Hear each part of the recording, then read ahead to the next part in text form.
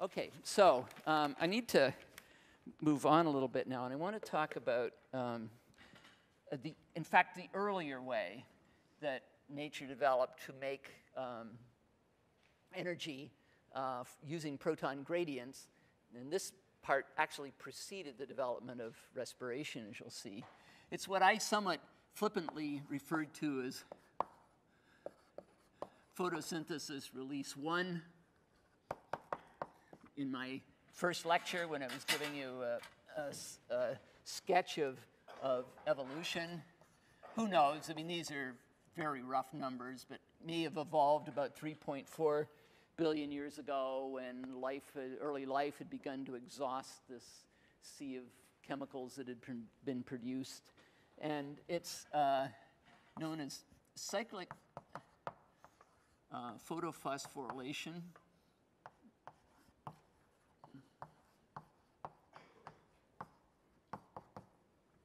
And it's a way of taking the energy in sunlight and making, making ATP.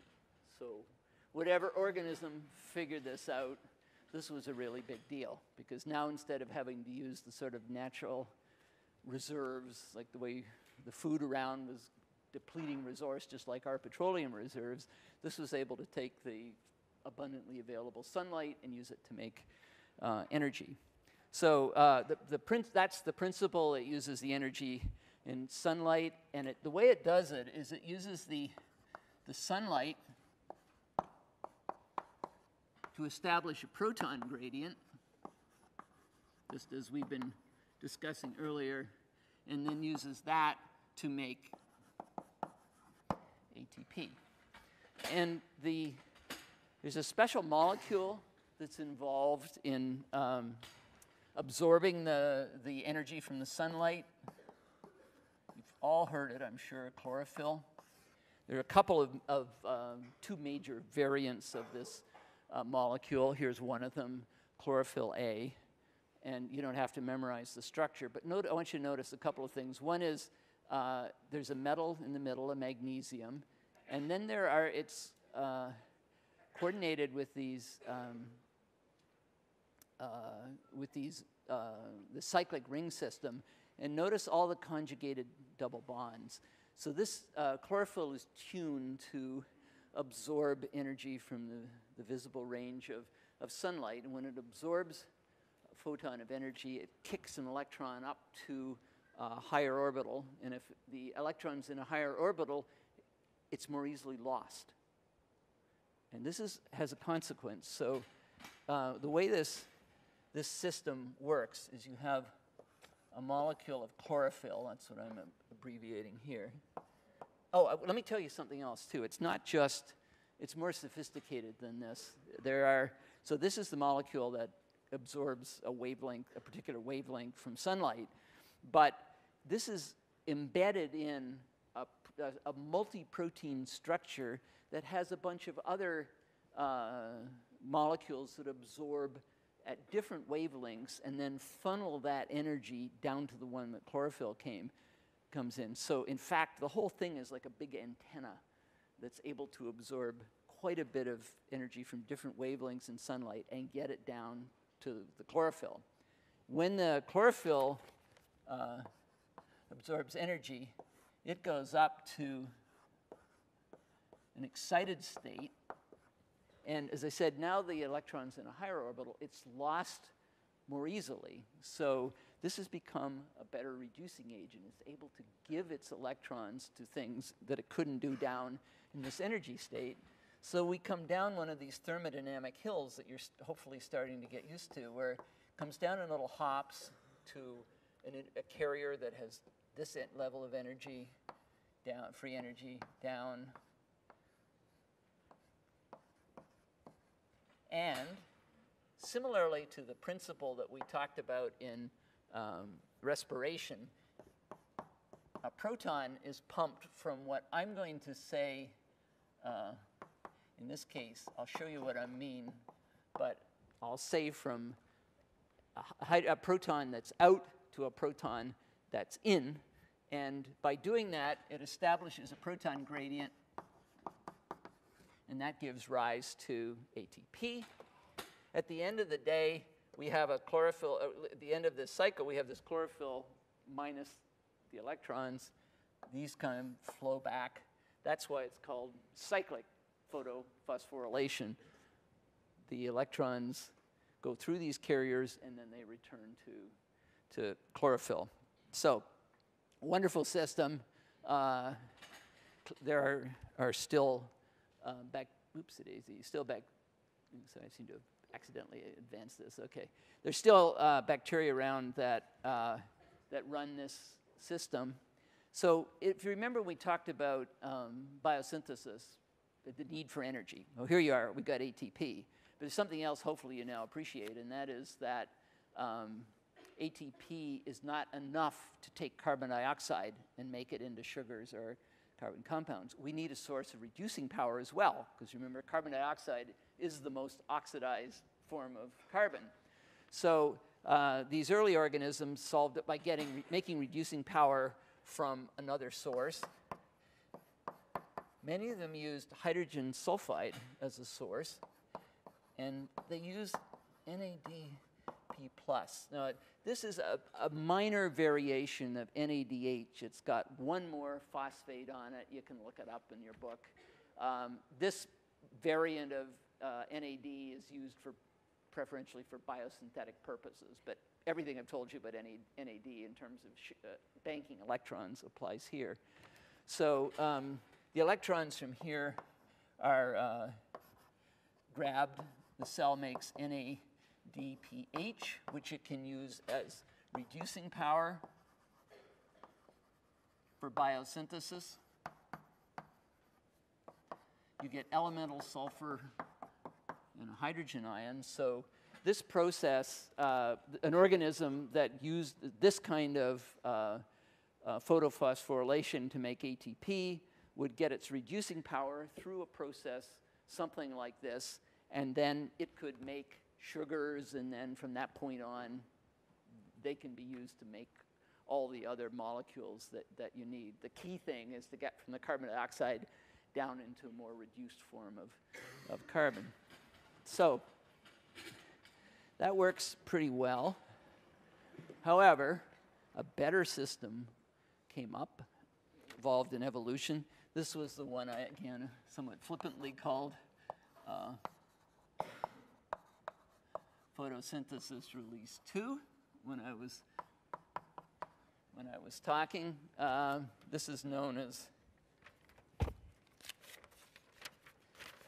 probably came up who knows again, but maybe three billion years ago, and it's known as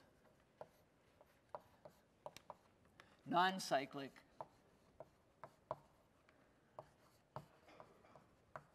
photophosphorylation.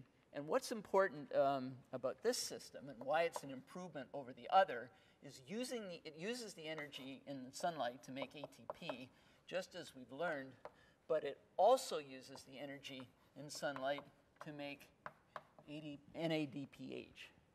So in other words, this second version gives the cell, simply from the energy in sunlight, everything it needs to take carbon dioxide and make it into organic uh, compounds. And it's, it's a pretty cool system. Evolutionarily, it's built on the older one, the first arising one. You'll still see the elements of it present, but with a new variation added in. So very much the way we do design when you're doing engineering. You get something that's working and you can use that as a basis to move to a new an improved version. And if you get a new improved version and you get a little advantage over your neighbors, natural selection makes sure that that better system gets, uh, gets uh, established. So here's, here's how this non-cyclic photophosphorylation starts. We take a chlorophyll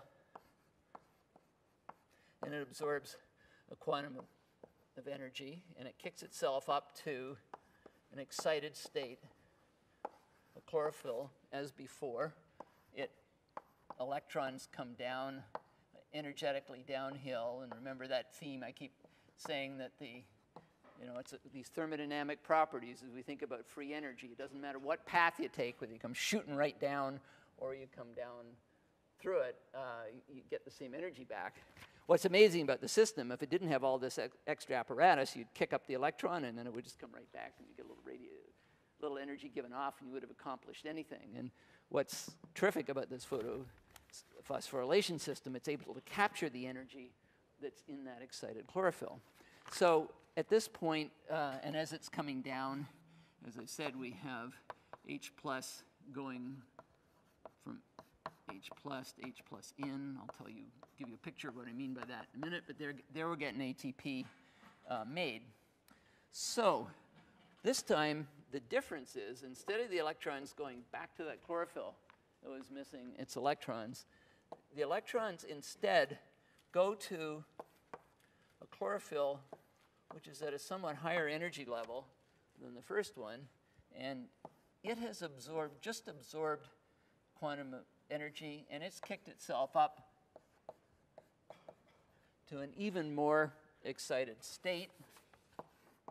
And these electrons from this system come on and fill up this uh, chlorophyll. So this one over here is called photosystem 2. And the term used in the field to describe what I'm about to tell you here is now called photosystem 1.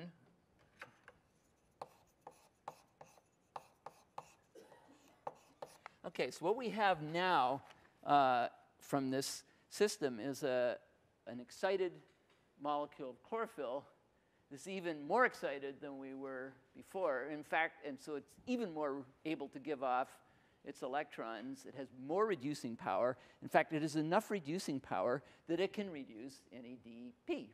So um, NADP plus electrons coming downhill, you get NADPH. So here we are, reducing power made by using the energy in sunlight, ATP made using the energy in, in sunlight. So by just using this non-cyclic uh, photophosphorylation system, the cell's got what it needs to take carbon dioxide and put it through a sequence of reactions that will let it make sugars and other things. In this course, I don't have enough time to go through the biosynthetic pathway. Uh, it's in your textbooks. You might find it interesting to look at. We're not making a big issue of it in there, but it exists, and you can see that it obviously exists. So there's one more wrinkle here, which might be sort of eerily reminiscent of when I, the issue I posed for you and I asked about whether we could just keep on doing glycolysis. I can't just let the system run. I forgot about something so far. Over here. This guy lost an electron. it can't get it back because the electrons went over there. They have to come from somewhere. Well, the energetics of the system now are such that it can get electrons from from water. And what's left over when you take the electrons from water? We have half of an oxygen molecule. So here's the cost. It's either uh, it's a, a, waste product, if you will, from this very efficient photo, uh, non-cyclic photophosphorylation system, but it's molecular oxygen. And it was when this system developed that we started to have oxygen appear on the, on, uh, in, this, in this world. The, um, or, the organelle that carries out uh, photosynthesis, uh, actually, well, the first organisms that learned how to do this are called cyanobacteria. They're, sometimes sort of rather incorrectly called blue-green algae because they are, um, they are bacteria, but you see cyanobacteria all the time. And similarly to what happened with the mitochondria, there's now abundant evidence that uh, the way photosynthesis happens in plants is a cyanobacterium got trapped somehow inside an early plant cell and is now a permanent part of the uh, plant cell, and it's called a chloroplast. So it's derived from a bacterium if you see um, the, you know, plants are green, if you could look in and see the, the uh, chloroplasts inside, this shows um, the, the chloroplasts coming in. And here's their basic structure. They too have a double membrane. They have an outer membrane, they have an inner membrane. They have a part that's called the stroma, and that's essentially like the cytoplasm of a, of a normal cell. And they have something in here called a lumen. It's a space, and the membrane that binds it is a special membrane called a thylakoid membrane.